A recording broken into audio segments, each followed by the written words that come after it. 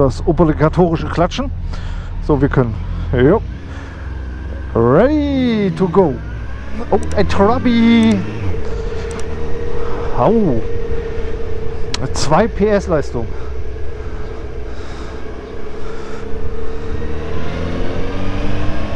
Ja, und damit willkommen bei Hornet on Tour.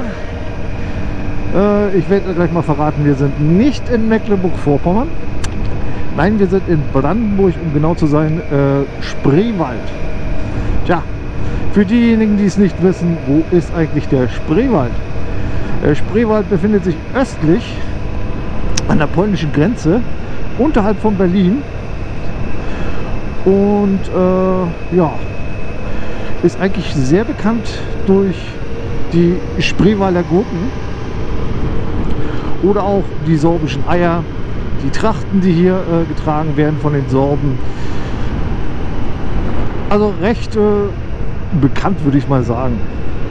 Ich werde mal nebenbei noch ein paar Bilderchen einblenden, damit ihr euch vorstellen könnt, was das hier alles so ist. Also bei den sorbischen Eiern gibt es eine ganz bestimmte Maltechnik. Die Eier werden nicht mit einem Pinsel bemalt, sie werden mit einer Feder bemalt.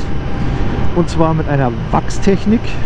Also vorher wird Wachs aufgetragen und dann äh, mit der Feder und äh, wird dann eingefärbt und dementsprechend sehen dann diese Eier wunderschön aus. Ja, auch das Klöppel kommt hierher, für diejenigen, die es nicht wissen.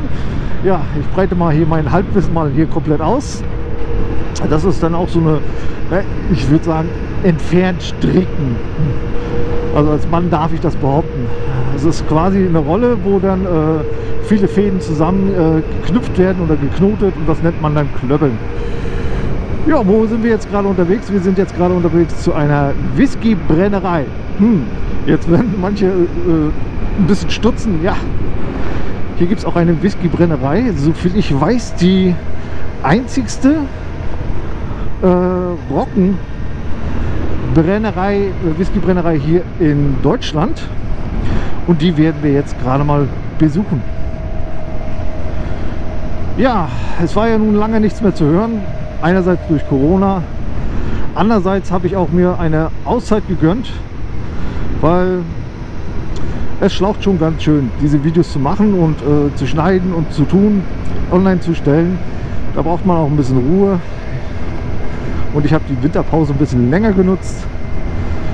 Und nun, ja, bin ich wieder hier und ich hoffe, dass ich hier noch ein paar Videos machen kann und auch hochladen kann.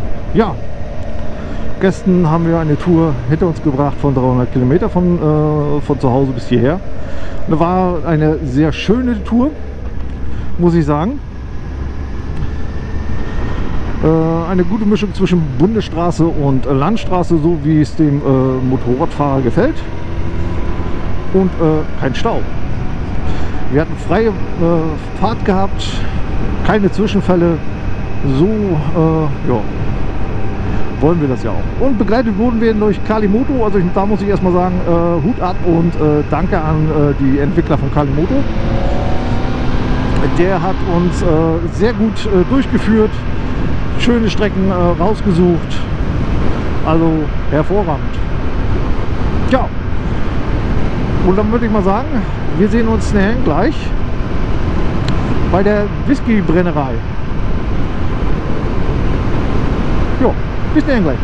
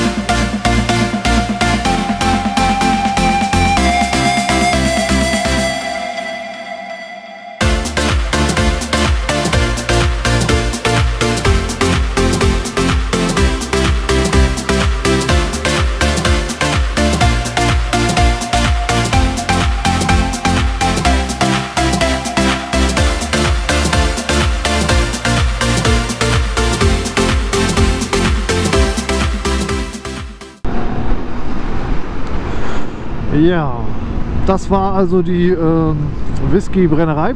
Leider konnten wir die Führung nicht mitmachen, Corona-bedingt. Erst ab dem 1.7. Wir sind jetzt das Fixed-Wochenende hier, also heißt das für uns leider keine Führung.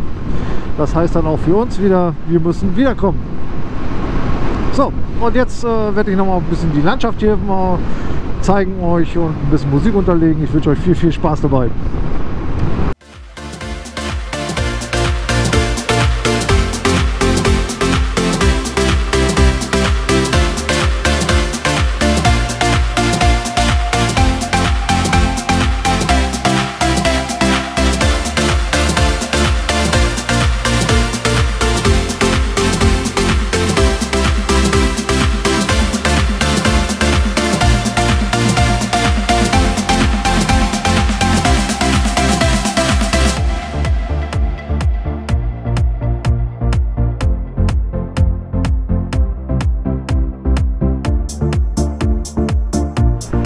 Da sind wir wieder zurück. Ähm, Ich hoffe, euch hat das äh, kurze Video jetzt gefallen.